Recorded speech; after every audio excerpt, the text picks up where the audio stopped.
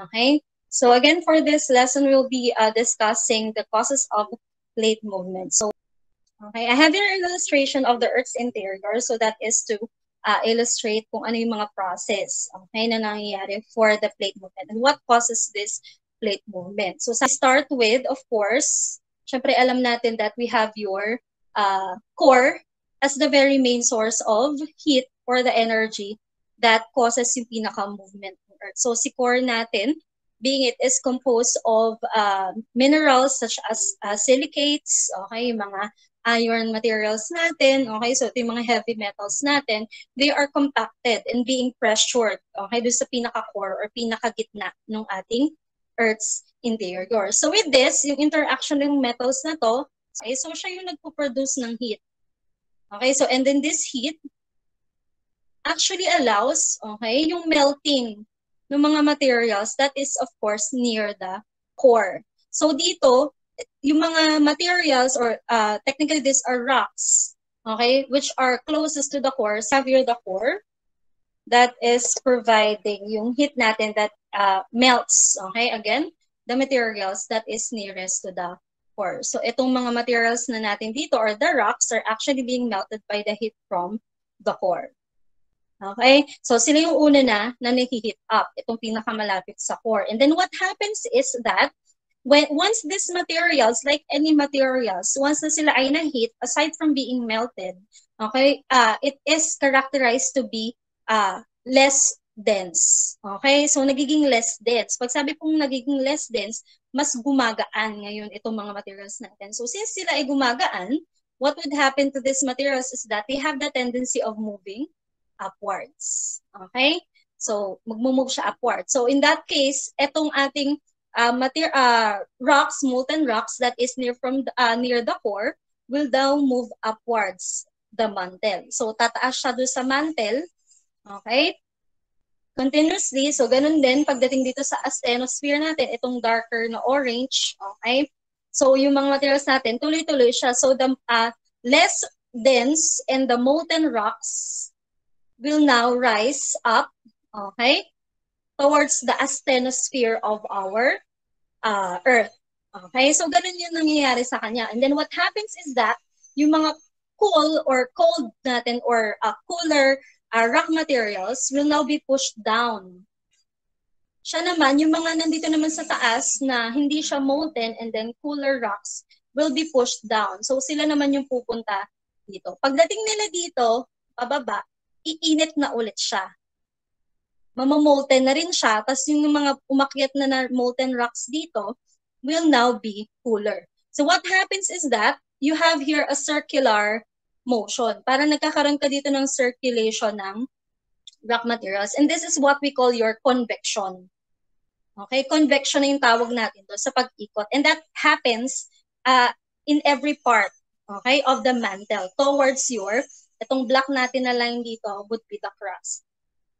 Okay? So what happens is kung continuous yung pag-ikot, so dito may mga umiikot na rock materials, dito meron ding umiikot na rock materials, okay, and so on, and so forth. So ganun yung nangyayari sa kanya. What happens to this, uh, what makes, uh, uh, what uh, allows, okay, or what is being allowed by this circul uh, circulation or circular movement is that yung mga crust natin, yung crust natin are actually being broken. So, uh, napuputol yung mga crust natin or nabibitak dito. So, that is where your uh, ridges are actually formed. Okay? May mga napuputol tayo na uh, crust dyan. So, what happens kung maputol siya, okay, another thing that actually happens is that your, yung mga molten rocks that is coming from the mantle, they actually move out uh, pagka natin yung kulay. Uh, nagmo-move out siya doon sa ating um, out of these ridges. So pag nag-move out siya, this actually forms a new layer of the crust. Nakikita nyo ba yung green? So yung mga molten rocks na lumabas, so magpo-flow siya out of those ridges. Okay? And then forms a new layer of the crust. Tuloy-tuloy yun. Tapos, what happens kung syempre na, napatungan nito ng panibagong layer ng crust, tama? So, what can you say about uh, the weight now of this crust? So, ano na yung magiging weight nito? Or yung bigat nitong crust na ito? Anyone? Ano yung mangyayari with the weight? Since ito, o kumpara natin dito sa weight nitong uh, plate na ito, can you see my, ano, my pointer? ito na yung bag, ito yung uh, isang plate that is napatungan na siya ng bagong layer ng crust. Ito yung kaninang plate na isa pa, na isang piraso. How can you compare the weight of these two?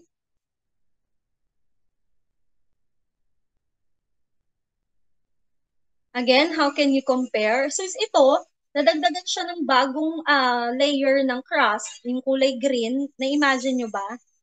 Okay? This one becomes denser or heavier than this plate. Tama po. Again, ito, nadagdagan ng bagong layer. Ito, nadagdagan siya ng bagong layer na. So, kung nadagdagan siya ng bagong layer, this, one's, uh, this one becomes heavier than the other plate. Okay? So, before we continue, ang tawag po natin dun sa paghihiwalay ng plate dito sa portion na to, yung kanina, di ba naghiwalay sila dito? That is what we call a ridge push.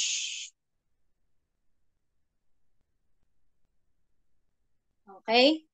So, yung bitak dito, tapos lumalabas yung mga materials mo dito, uh, tinutulak nila yung plates in separate ways. So ito na ngayon yung tinatawag natin na ridge push, yung pagtulak ng dalawang plates in different directions.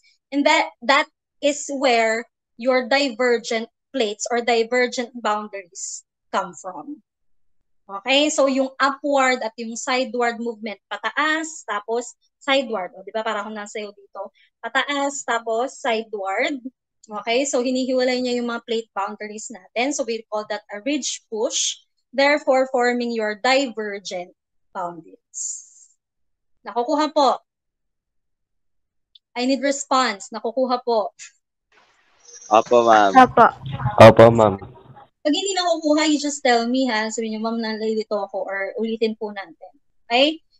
So, punta tayo ulit doon sa kanina. No? Since ito, itong uh, isa ay naging mas mabigat kumpara doon sa isang plate, punta tayo dito. Yan. So, itong may green, mas mabigat na siya kasi itong green, mas mabigat na kasi nadagdagan na yung ating uh, layer ng crust kumpara dito sa isang plate na nandito sa gilid. Okay? So, what happened?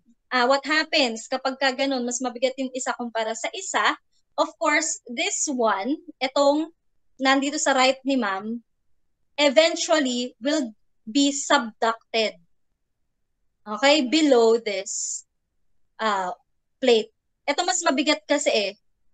So siya, may tendency siya na mag-move downwards. Therefore, being subducted by the other plate. So ano yung nagkakos ng subduction na yon? Tingnan nyo tong blue na arrow. Kanina yung upward at sideward nag-cause ng divergence. Ito namang downward movement, itong blue na arrow dito. What is what causes your? Anong type ng boundary? Anong type ng boundary? Convergent. Convergent po. So this one is a convergent boundary. Okay, so ito, since mabigat siya, it has the tendency of moving downwards also. Okay, dahil dito sa movement ng convection. Okay? So that is, again, uh, subducting one plate to another. Therefore, forming your uh, convergent boundaries. In this case, itong force naman na ito, this is what we call your So kanina kung tawag natin sa ridge uh, sa upward and sideward is a ridge push. This downward force, uh, which actually subducts one plate to another, is what we call your slab pull. Okay? Para kumbaga yung ano, kumbaga ay yung sabi sa description sa module no, para daw bagang tablecloth na pag hinigit mo siya, madadala lahat ng laman, parang ganun, or lahat ng nasa ibabaw ng lamesa.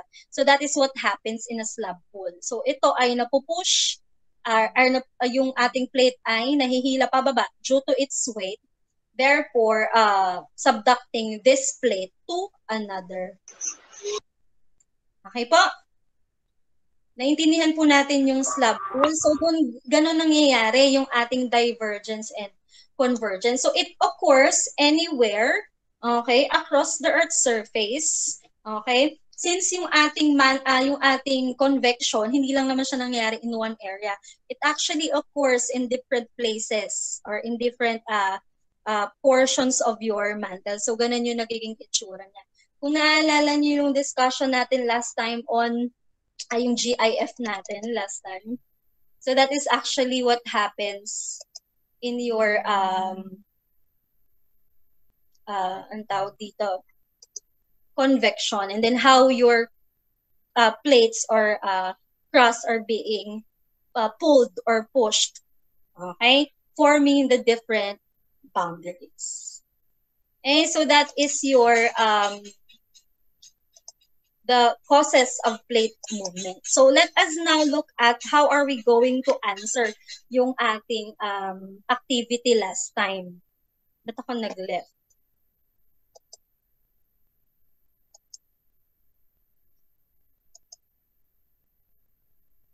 Ayun.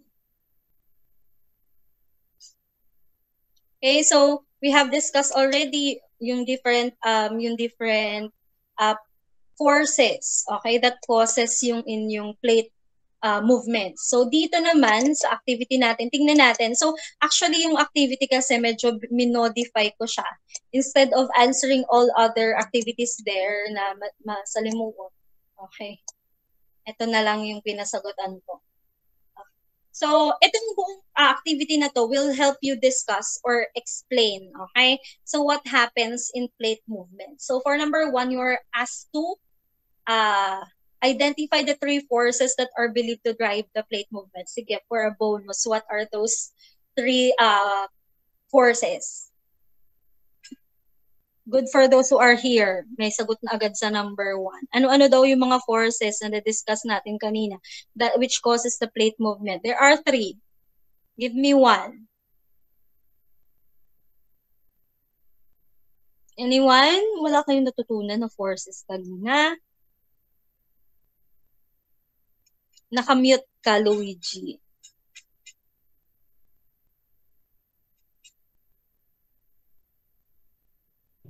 Mama, yun po ba yung ano, yung ridge push tsaka slab pull? Okay, so we have ridge push, slab pull. Ano yung pangatlo? Ayun pang pinaka nakalimutan, ayun ang pinaka ano, pinaka prominent sa kanila. Pinagmumula ng lahat. Circular motion.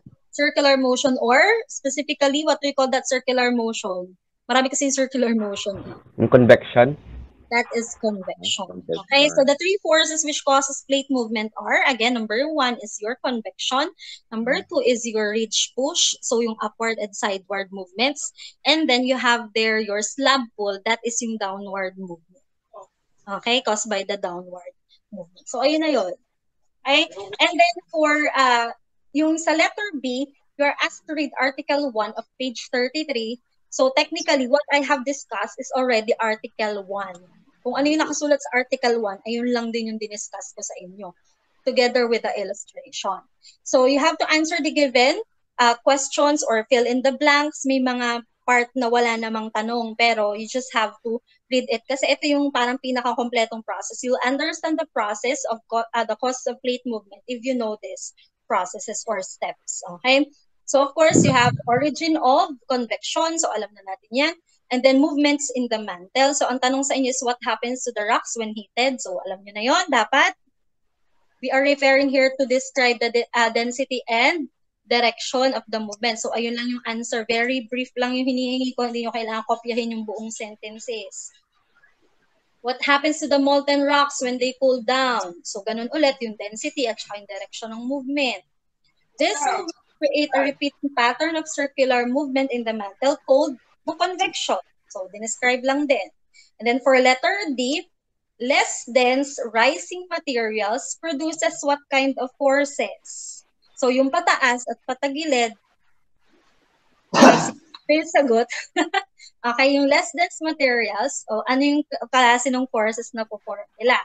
And then, for number three, ganun, ano naman nangyayari dun sa plates? So, for question A, what happens to the lithosphere as upward and si- sideward movement or sideward forces are produced? What plate boundaries are produced? So, ayun lang din yon. What are the effects of the downward movement? So, kanina yung upward ang tinatanong sa letter A. Sa letter B, ano naman daw yung sa downward movement? For number four, you are given with the definition of slab pool. Please refer to the GIF I'll be sending to your group. So, I'll be sending that although, although meron tayo din sa PowerPoint. And then for part C and part D, ito na yung separate na activity. So, for letter C, Answer the reflection question on page 34. Write a three to five sentence paragraph for your answer. For this part, you are asked, or the question would be, what would happen daw if plates are not moving? Okay, so in your own idea, in your own uh, imagination, okay, with the understanding of the causes of the plate movement and the effects or the results, what do you think will happen kung hindi nag-move yung ating plates?